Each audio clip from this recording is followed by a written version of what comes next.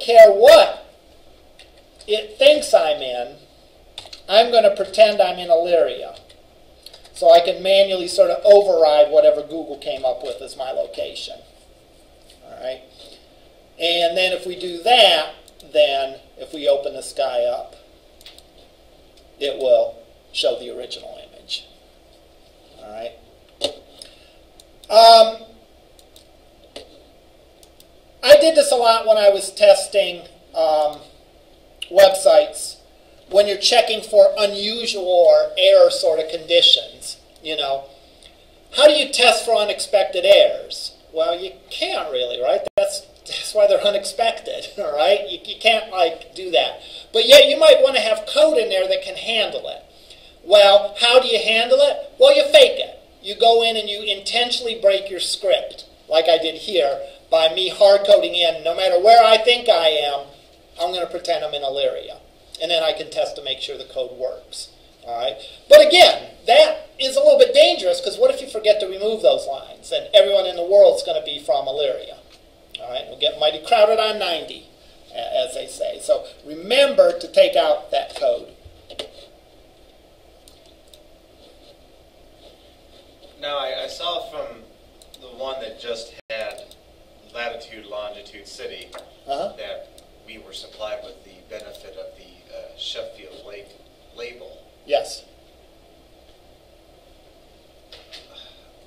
For communities that might not have the benefit of a nice, neat label like Elyria or North Ridgeville, could you then in your code have the fallback for a generic picture? Well, that, that, yeah, that's exactly what I have here, right? Um, I set my image to that picture, that clip art of a girl bowling. okay, that's. And that's- if they happen to be in Sheffield Lake, then I swap out the cardinal. So I could have a whole slew of if statements. If the city's Elyria, then show uh, Pioneer Bowling. If it's Lorain, show a Titan Bowling. So, I mean, gosh, with just this county alone, you could have Yeah. 18, 20 ifs. Right. And Right. none of them match. And if just- none of them then, then you just you just stay with the default generic looking image. Nice. Yeah. Notice I removed this. Once once you do that on load bit and all that, you can't really do a document write text. That will destroy everything that's on the page. So I commented that out. Your, your better thing to do, if I wanted, for example, to put the name of the image, I could do something like this: div id equals um, city name.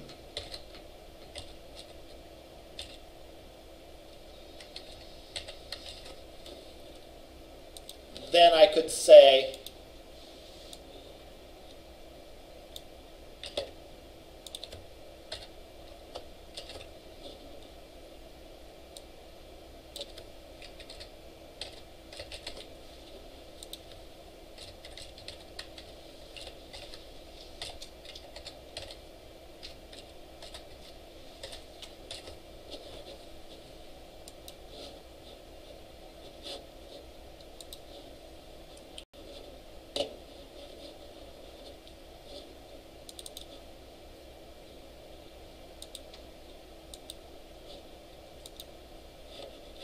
knows that we're in Sheffield Lake and it displays the word Sheffield Lake. And you did that by an inner city thing? Inner HTML. Or, yeah, what, what exactly? The inner HTML, what that does is here's the tag that has an ID of city name. The inner HTML is the stuff between the start and end tag, right? And initially there's no stuff between there. But what this command does is it takes whatever Google came up with as a city and popped it in that inner HTML. So we could do something like this. That's, that's a, uh, I love that feature. Yep. It could, just for, I guess, playing devil's advocate, could we add a variable where we have a tiny little blurb, welcome Sheffield Lake That's exactly citizens? what I'm doing. Oh, okay.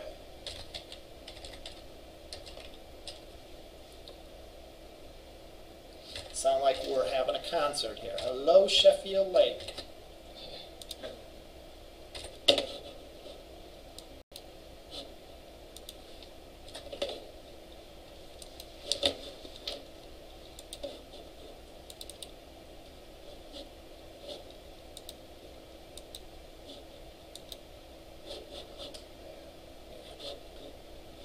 Now notice this does work under IE because it's not using the browser as geolocation. It's going out and you running a script uh, on Google and Google is asking its server for the location. It's using the IP detection probably and coming up with that. Now, remember, and this is where practicing your JavaScript is going to come in, all right, and, and where this is good. Because, you know, this is just small potatoes what I did right here right? In other words, if we look at this, you know, I grabbed the city and did a couple of things based on the city I was at. You could do more extensive things. You could have divs that you showed and hide, showed and hid. I don't know what the right tense of the verb is there. That you make visible and make invisible based on what city they're in. All right? So that's one thing that you could do is you could you could create code that does that. All right? You could create content based on that and so on. Now, what we'll go over next time is putting this out on the server. All right? In other words, doing this similar sort of thing except using server-side code. And again, um, the advantage of that is that um, instead of sending a page with Elyria links, Sheffield Lake links, Lorain links, and hiding some of them, we'll actually go in and we will generate the page only having the links that are needed for that particular city. All right. So uh, what we will do next time is we will look at these examples using PHP.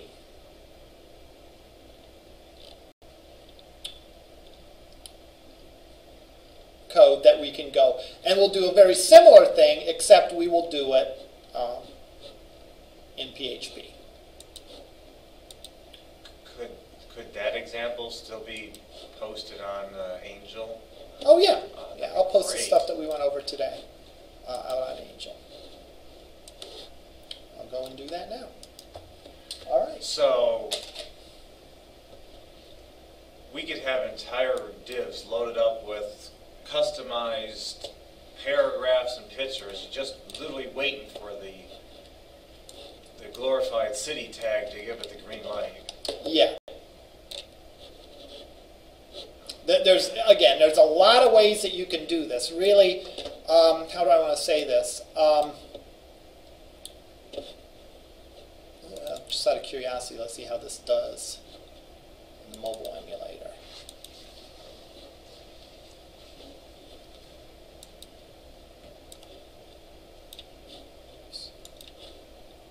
Yeah, knows we're in Um, but at any rate, uh, yes. Now again, keep in mind that if you're doing it client side, you'd have to send all the content to the client and then have code to hide stuff. And that may or may not be a big deal, to either hide stuff or to change stuff or, or whatever. Uh, that may or may not, depending on your content, be a big deal.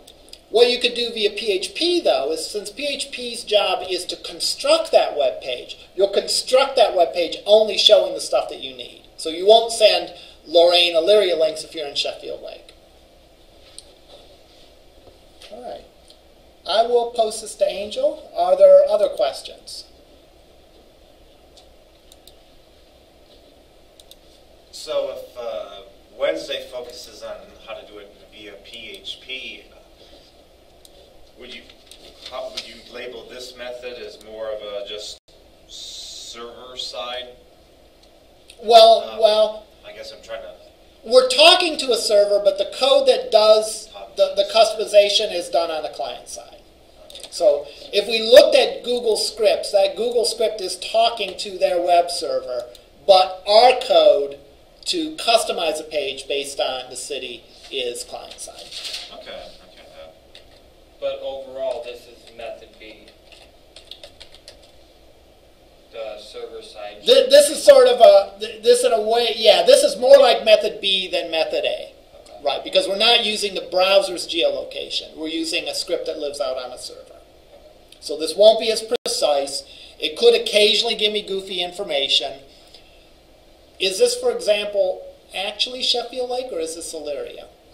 Il- Elyria. I think this is Elyria. I think up the road is Sheffield Lake. It's only a few hundred. Yeah, it is only a few hundred feet. Uh, but again, you know, notice again, it's not quite as precise.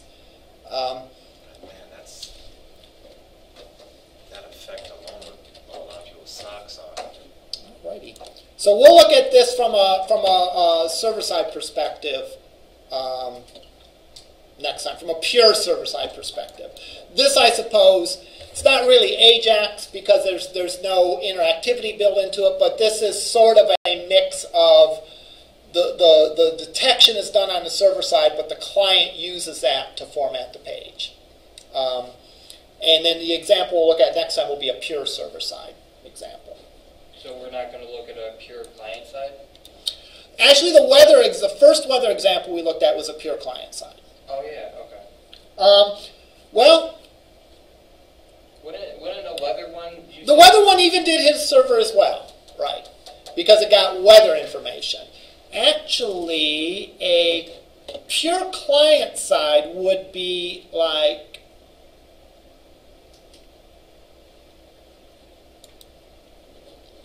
this would be a pure client side one.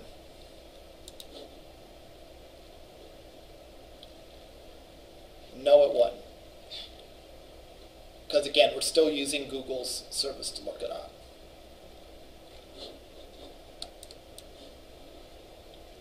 The client, the client side example, how do I want to put it? The client side, the geolocation object on the client will give you a latitude and longitude. So, in that regard, you're probably not going to have too many pure client side examples because then you'd have to do something with that latitude and longitude. All right. Typically, though, in the examples that we've seen, we've used the client to pull the latitude and longitude and give that to some server process, which then gives us some more detailed information, like the name of the city or the, the weather or whatever. So, uh, a pure client-side one would simply pop up the, the latitude and longitude, which I think we looked at an example of that last time. All right, but really to do any any heavy lifting, either you're going to make a server call to something, or you're going to have to code it yourself to be smart enough to know what to do with those latitudes and longitudes. So you never really, you never really have a pure method A because you can't do anything with just longitude and latitude. You could, If, if you got, yeah, but you you could if your if your code was able to, you know, um, write that. For example, let, us think of an example. Um, you could probably tell what you. It probably wouldn't be too hard to write code to tell you what time zone the client was in, based on on that, because there's only 24 time zones. You could probably figure out what hemisphere they're in. You know, so you can know if it is winter or summer, depending on where you are. Um, but yeah, uh, it would be something that was that would be more involved. Yeah. So I guess yeah, in that regard, you don't get the pure client side because you're probably going to grab those coordinates and give it to something on the server.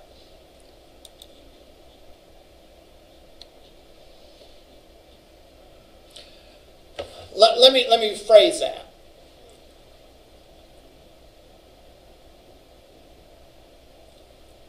The solution, you- you're right in saying that the solution is going to likely contain a mix of client and server side code.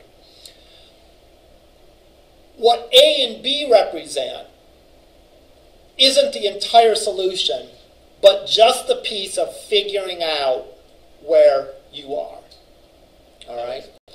Okay. Yeah. That that yeah. That was a great question. That had me that had me thinking for a while. It's like you know he's right. But yeah, the, the, the pure client side comes in with just the geolocation part. All right. So the full solution contains first deciding where you are, then doing something about it. Right. So the doing something about it very well could be on a server, but the finding out where you are is completely on the client or completely on the server. Okay. All right. Other questions? Um, I had, um, wanted you to look at one of my labs. Okay. Can we go down? All right, let's head down there then.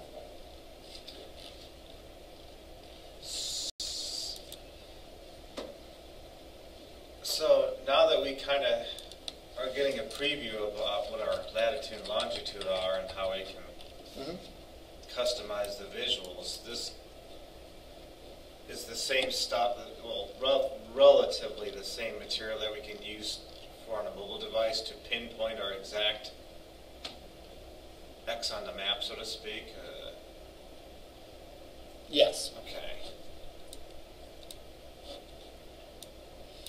Again, to Andrew's point, um, we'll use the mobile device to figure out exactly where we are. We'll then probably make some sort of server call to do something with that. Like, for example, draw a Google map or get a weather forecast. All right. Because chances are we can't do anything, even if we know the exact latitude and longitude we're at, we're probably not writing code to do anything with that. Our job will just be to pull it and to give it to someone else to, to, to do more heavy lifting.